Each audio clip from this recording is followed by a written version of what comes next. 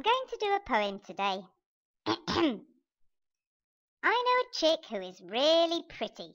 She cheers me up when I feel shitty.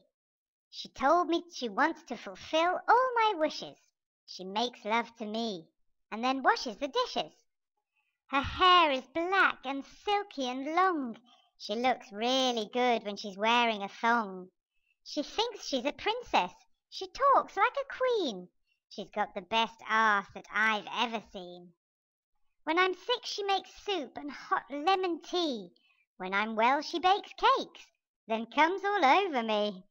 We shag in the kitchen all over the place, and I'd like to die with her sat on my face.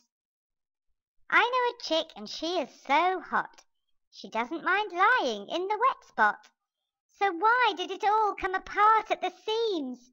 'Cause she only exists in my dreams. But as you can imagine, they are really wet dreams, though.